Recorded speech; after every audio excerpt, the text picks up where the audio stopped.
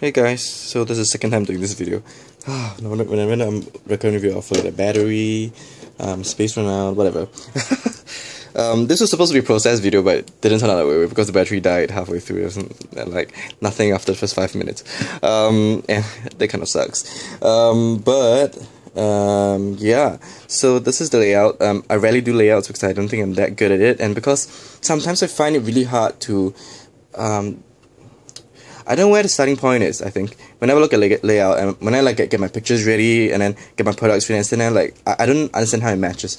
Um, but um, I think um, I realized that after going through just a single uh, session of of the Ali Edwards um, story stamp, um, and I realized that I just really need to start from story and then everything flows from there. So it's a lot easier. Um, and, and because your pictures have meaning, because of the stories behind the pictures. So yeah, learn a bit about scrapbooking every day. Um, so this is a 12 by 12 layout. Um, I used a lot of the elements from um, the Grand Bazaar uh, collection as well as some uh, other things that, that, that, I also had lying around my table and just use whatever that kind of fits in uh, with what it was. Um, I struggled a lot with the Grand Bazaar collection in general because of the colors really bright and if you go through my channel I don't usually use bright colors that often. Um, and they're kind of hard to match, right? Um, but I think I really love the the colors in this one. Um, they remind me a little bit of like a um, I'm not being racist here, but like an Indian wedding. Um, and and the colors that they have are bright and they, they contrast really well with, with, with the things around them. But uh, but each of these colors, even though they're really strong, they are not. They work together. They are not that jarring. Um, and so uh, that was uh, one of the reasons why I was so drawn to this collection. Uh, it was just uh, brilliant. So um, and this layout just really fell together really quickly and I did it in like 30 minutes to 40 minutes which is really short uh, on my standards. So I'm going to tell a little bit about like the story uh, inside of the layout of, of what this uh, layout was supposed to keep. And then maybe like um, show like tell you guys about um, this little thing here. So um, what this picture was uh, about was this picture was uh, taken on my uh, mission trip in 20 uh, I think 11 2012 2011 yeah. Um, when I went to Philippines for a mission trip. Um, and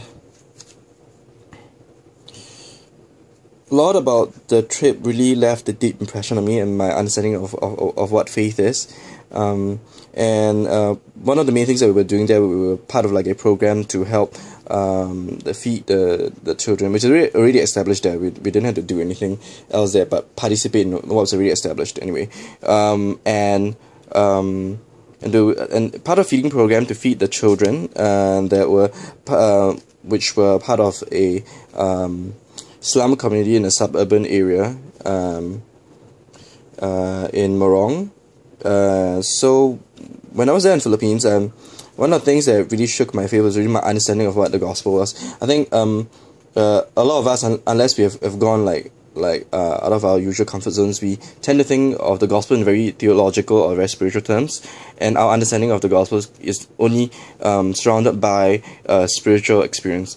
Um, when I was there, the place that we did our ministry in, um, um, was a place that was actually owned by the landowner of that entire plot of land, including those which are sit on the slums. And the people there, they actually had to pay, um, like kind of like a, a rental fee, if you will, to stay on the plot of land that that, that was there.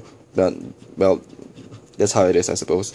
And um, what was happening there was in, in this field that was that was right behind you see the field there um, where the feeding program was the landowner was taking the, the land back.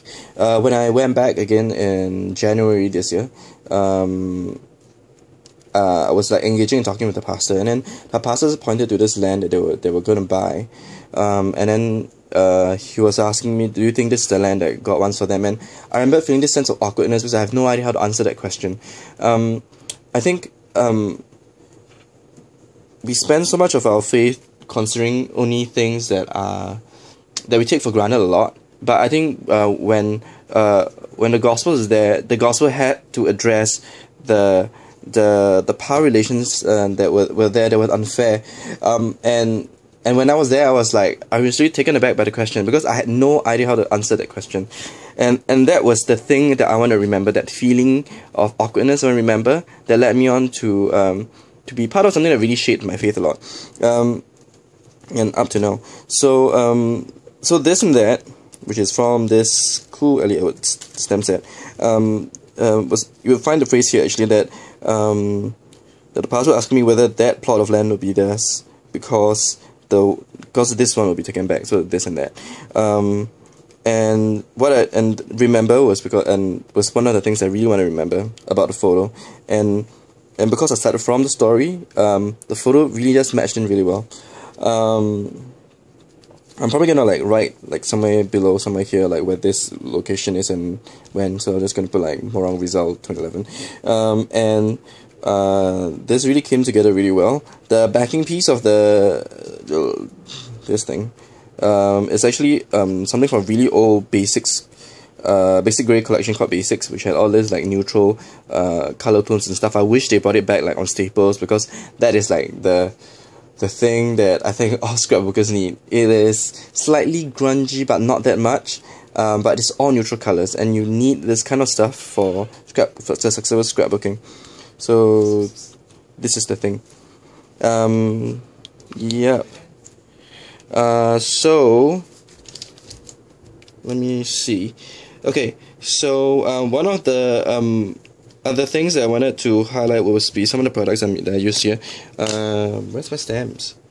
Or oh, inks. So the for the this and that I used I, I used a Hero Arts uh, midtone navy, and for the remember I used a Titepoo midtone uh, midtone ink. Uh, for the for this tree paint, I I started playing with this uh, new brand I'm introduced to. It's uh, called Thirteen Arts. It's a polish um, uh, brand, uh, a mixed media brand, and they have really cool stuff, and they're really inex- inexpensive.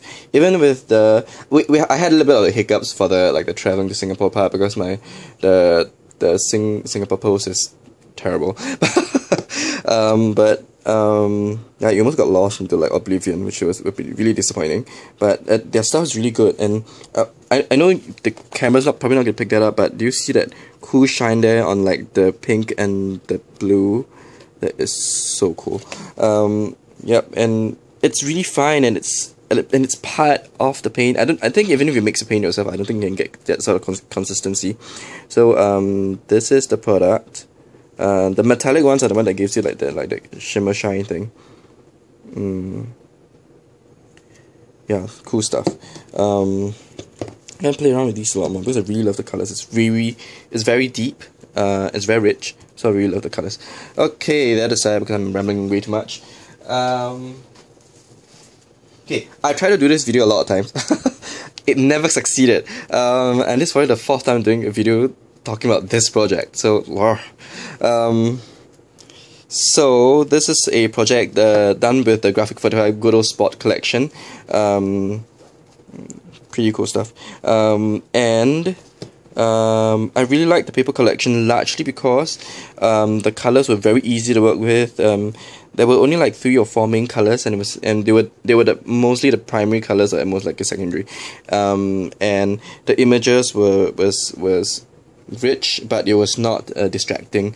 Um, some of the, the their collections, especially when you play with like the brighter color tones, um, the the images had something look a little bit distracting, and you actually had to do a lot of fussy cutting, put them, mat them on like a different color in order to make it kind of make sense. But this collection uh, comes together really well and rather quite easily. Um, so this is um, uh, a Tim Holtz bookplate that says story, and some fussy cutting I did for this. Um, this was the hardest thing to fussy cut, I think.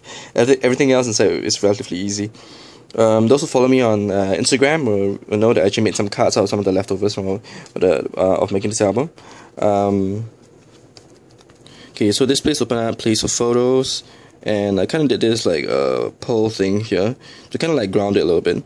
Um, and basically there are lots of space for journaling and photos and I left it as that because I think um, that's what you want your mini albums to be right uh, I will be selling this uh, on my Carousell uh, eventually Um, if I have, if I have time to like take out the pictures and stuff. This is a stamp that I carved out from uh, myself. Yeah, I, I took like a picture of a hand. I went through like those stencil creation thingies. Um, used that as the template to to carve out the stamps using a speedball um, uh, rubber carving tool, and that's how I got it. Um, this I think it's from the France General collection from what's that brand? Julie's Boutique. Yeah. Um, P I didn't get that much of the collection because I, I did want to like get more, but it was too pricey. Um, it was a quick show because I don't want to go through too many things. So Please also journaling photos. This kind of like a waterfall feature, but it opens up this way, so it really gives a lot of like um, room for like real real estate. Uh, by the way, this is a envelope mini. Um, that's kind of like the base behind some of the behind these things. Um, place for journaling here as well, and photos. There's a lot of real estate. I'm just gonna go through it relatively quickly because there isn't too much things to talk about it to be honest. Um, oops, not going. in? Oh, I think the magnet is a bit strong. Um, place of folding, journaling. Just keep it shut. Um, this is a Sherilyn die, uh, corner corner die that I went through. It's really cool. Creates this like gear thingy. There's also journaling photos tucked in right behind there. This one of the stamps that I carved out as well and wasn't joining here.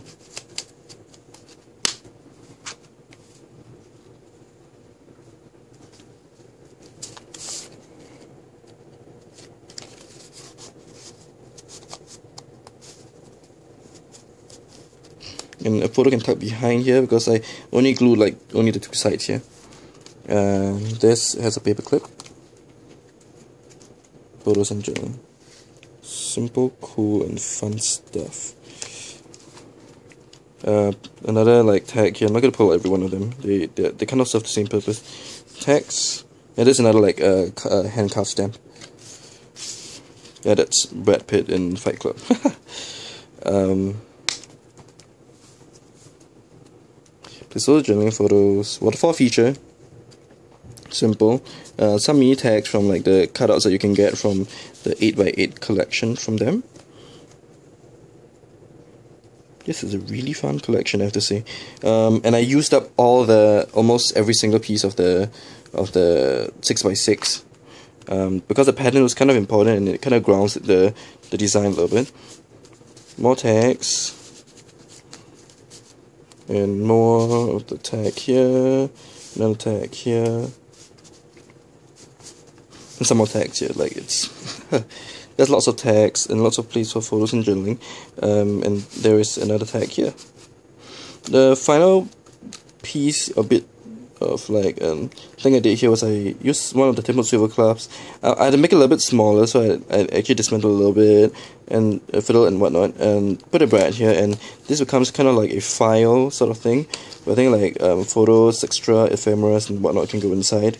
So um, it could be like uh, something that you have after like uh, watching like a game and then the tickets from there or or movie stubs or what or whatnot. Um, it's really great as a general masculine album, but there are. But I like the fact that there are females in the collection as well because um, uh, it gives kind of like a, or I would say a fair representation of how sports is like. So yeah, so thank you guys for watching. That was probably the longest rambling you ever heard from me. Um, and I hope you guys enjoyed the video and as well as this me album. It's really cool. Um, I'll, it'll probably on sale on my Carousell um, after I had time to go take a picture of it and whatnot. Um, and thank you guys for watching. Bye.